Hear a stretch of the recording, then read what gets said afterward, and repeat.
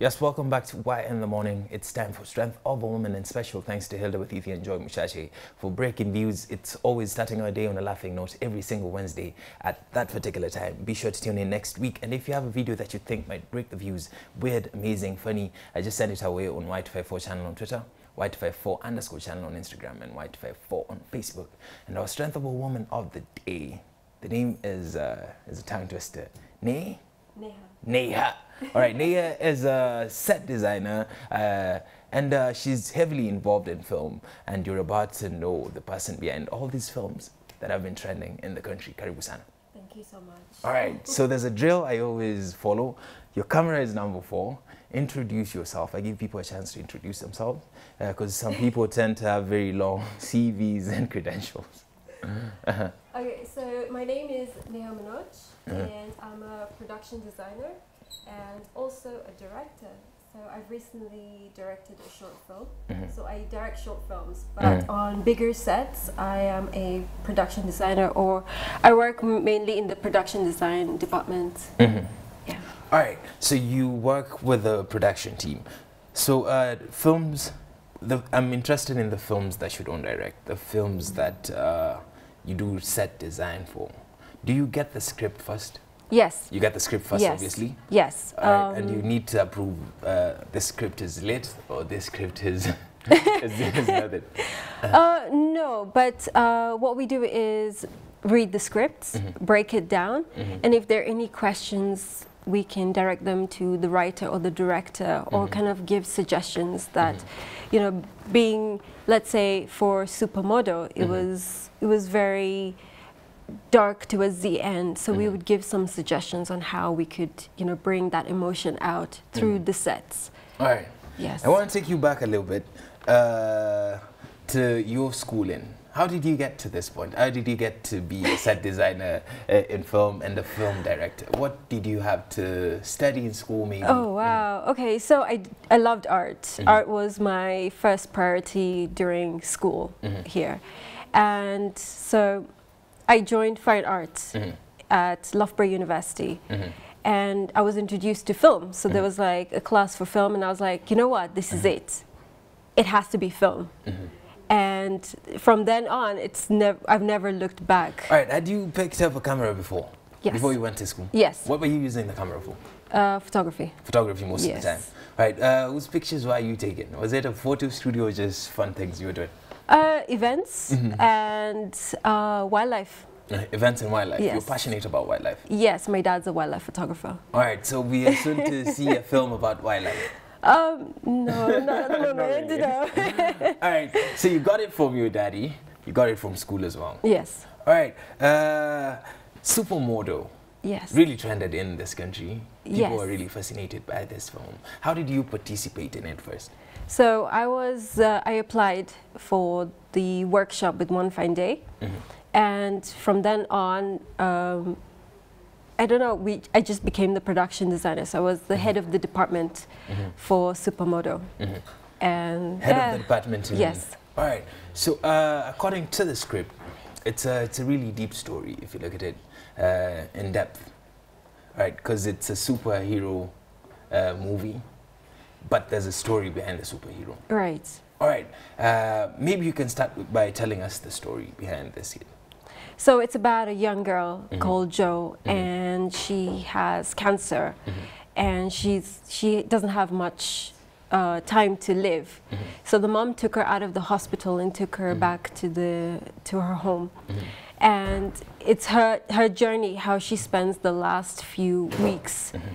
Mm-hmm. And she was always interested in superheroes Mm-hmm. uh, from from the start. So she wanted to make a movie about her being a superhero, and it's really how do you say intertwined that she herself becomes a superhero to all the villagers as well?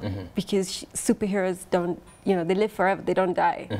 And that's how you know she became immortalized let's say yeah All right. so So it's a it's it's a deep story. It's something kids are going through around here, but it was scripted in a way to make it entertaining. yes All right. Uh, so traditionally, we know superhero movies are made in Hollywood, and some in Bollywood, maybe, and some, and some, uh, some in Uganda as well. Have you seen the ones in Uganda? Yes, I love Alright. them. The Spider-Man. Was You it the love- Spider-Man? Yes, I think so. All right. Um, were you scared that you were not going to maybe achieve the standard that you have in your head before getting into it? Uh, no, it was some complexities that come with uh, superhero movies. Yeah, Mm-hmm. um, not in the beginning. In the beginning, it was exciting, Mm-hmm. and then while we were building, so we had three different sets. Mm-hmm. Um, so while we were shooting one, I was, you know, we had a team kind of erecting the other one Mm-hmm. and kind of wrapping the last one. So that was a bit um, scary, Mm-hmm. trying to make sure that everything was done on time. Uh, we had great mentors. I had Lorica and Uli who were mentoring us through through the the Supa Modo film. So I was so they were like um, they were there. So anytime I felt that I was not sure about something, you know, they kind of stepped in and kind of guided All me. Uh, I'm sorry. Excuse my ignorance, but who are these guys? So Uli, Uli's done um, a lot of films. Perfume. Um, then there was Cloud Atlas. He's uh, the production designer for that. So he's a he's a German guy, and uh, through one fine day he was brought here to mentor us. All right. Uh, what, did you know him before this film? Were I you following on his work and journey? No, but it- like I love the films. Like Perfume was like. Oh, so when he mentioned the films, you. I was like, oh my god, this is him. Right. Yes. you don't look like this type to get starstruck. Uh, but uh, it's funny how uh, we see the lead in the film, we get starstruck, but you get starstruck by the person who did the design. The sets, yes. Oh my. God, yes. All right, very interesting. I'm interested in Rafiki as well. Uh, Rafiki was very controversial Yes. in Kenya, uh, but it won awards uh, abroad. Uh, so uh, maybe you can tell us your experience first in working in Rafiki. It was amazing. It was. Um, I think working on Rafiki just kind of. It was like a step up mm-hmm. to my experience in filmmaking. Mm-hmm. Working with Wanuri was her vision. I was just impressed mm-hmm. that you could actually have this vision and we actually produced it. You know, I was. I mean, when I saw the film, I was like, "Oh my God, did we do this?" Uh-huh. it was just beautifully done, beautifully written, and yeah, the crew were amazing. They were very professional. Had you worked with Wanuri before? No. This was the first time. Yes. And you guys made magic. For sure. you have to watch the film. Be sure to check out the film. It's called Rafiki. Uh, but uh, did you guys anticipate the feedback or the energy that you got from uh, a number of Kenyans or a section of Kenyans? Not really. I think you when never saw no, it's weird because when I get the script, I, you fall in love with the story, Mm-hmm. and then you just want to make it. You want to make this story come to life, Mm-hmm. and while we're just doing it, it's always about yeah, how can we do justice to the story. Mm-hmm. But I've never thought about the reaction. Mm-hmm. I've never actually, you Oh, know. you never so it was that. so Alright. when everything came out, I was like, mm-hmm. oh, okay, yeah. Then you mm-hmm. remembered you're, you're living in Kenya and uh, this is how Kenya is sometimes. Uh, I, I live in Kenya. People are really open-minded. People are really open. The ones I've experienced, uh-huh. yes. So when I was reading all this and people were talking, I was like, no, this this is weird. This is not something you know I'm living through. All right, uh, so we have the a section of the film uh, set. So my director is going to play it for us, and then we are going to pick something from the film. Okay. Yes, let's see it.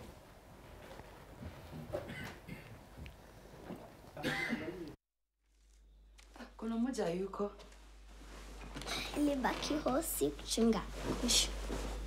Ni ya Jackie Chan hiyo ya kulewa. ati kulewa. Eh, Jackie Chan alikunywa pombe akaanza kupiga kila mtu. Msichana analewa alafu anaanza kuchapa watu. Si msichana, ni mwanaume. Mwanaume anaitwa Jackie. Ni mchinese. Mams, wacha nikwambie story. Sawa. Alright. Chakichana kamwa katambe shasha. One by one majangila wakakuja design ya ksh, ksh, ksh, akakunywa karofa akapata mahinya. Sasa ndio.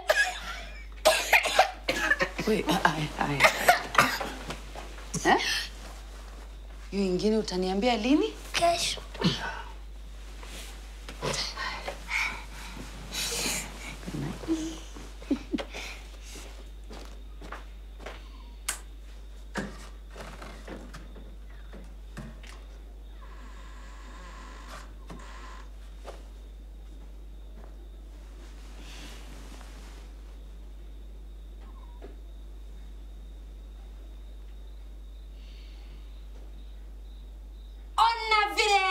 Anapiga ukuta magumi, anazungusha chui akiwa ameshikilia mkia.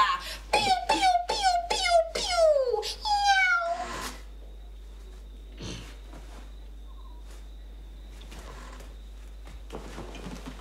Eh, tatu.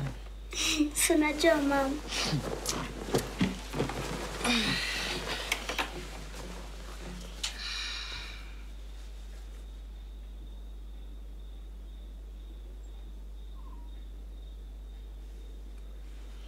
Una feel poa kwa home? Nix, Naweza ni promise kitu. So zile sitani hizi posters utapea mabeshti yangu wale wa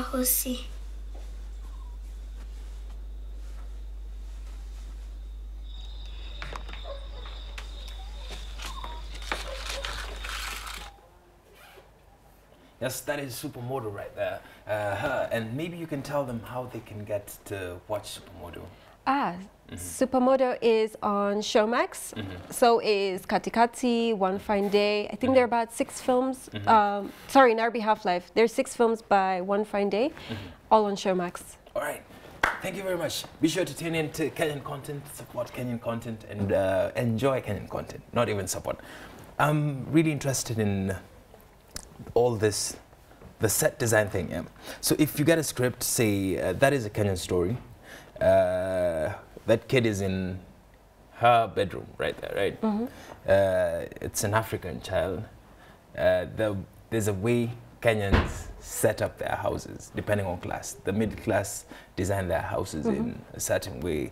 Uh, the the lower class might design their houses in a certain way. How do you get into that zone to know this is a Kenyan household looks like? Do you visit some houses or something? I know what a Kenyan household looks but like. I, I get your point. But maybe Indians design their houses differently. Interior design for Indians is different uh, from uh, black. True, Kenyans. but I'm also Uh, Kenyan. All right, so you've been to these houses. Uh, yes, but I also am a Kenyan, so Alright, I I know get how these point. houses are. Uh-huh. Um, also, we do a lot of research. Uh-huh. Um, so, as much as we, I know what the houses look like. Mm-hmm.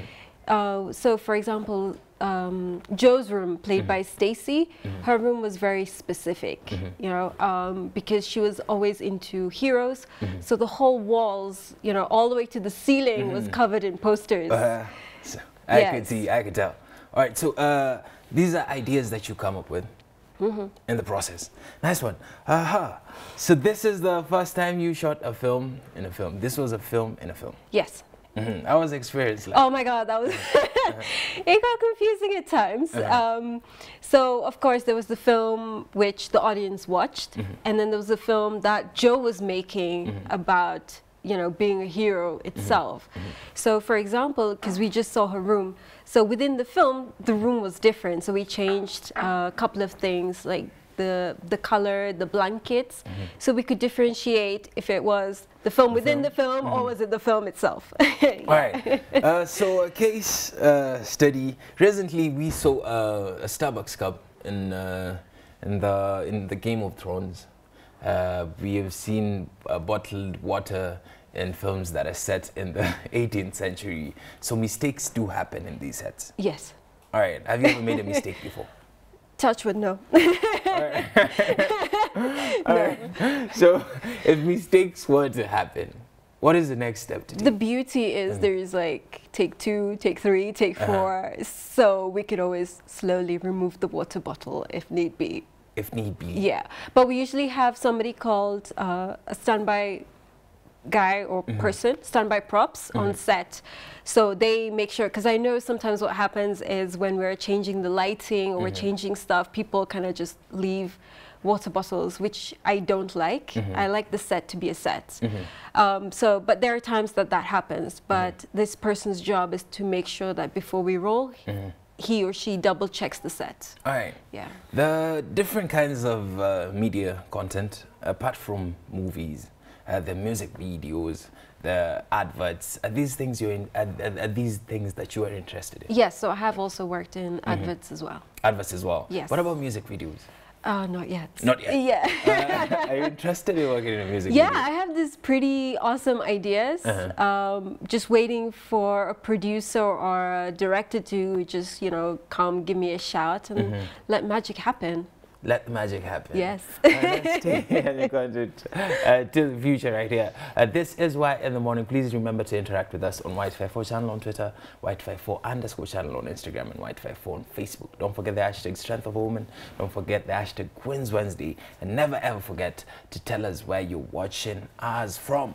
So you have a film that is coming. Yes, Uh-huh. It premieres uh, on which date? on the 7th, Friday, 7th June. Mhm.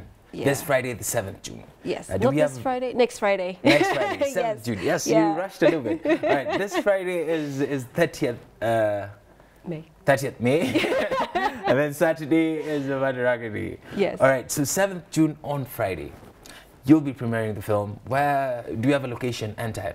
Yes, so Mm. it's uh, at Prestige Cinema. Mm-hmm. It's part of the Nairobi Film Fest, and also the docu the docubox short short shorts. Mm-hmm. Yeah.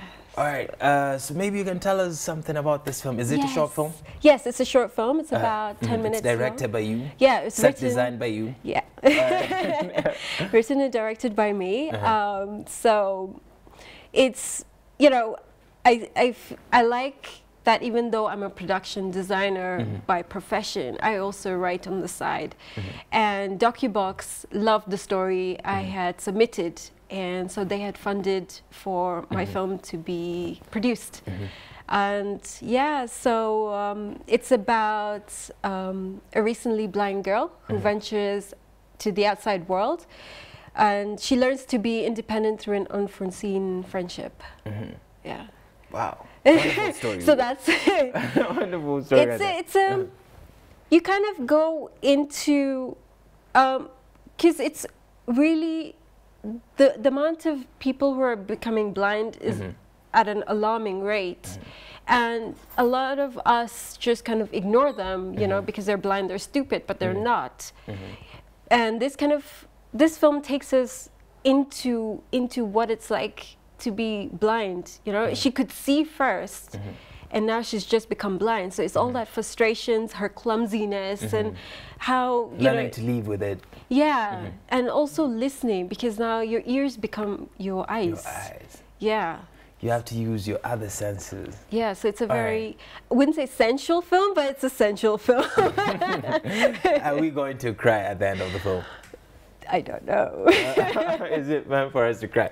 Anyway, uh, so maybe you can tell the venue again and the time.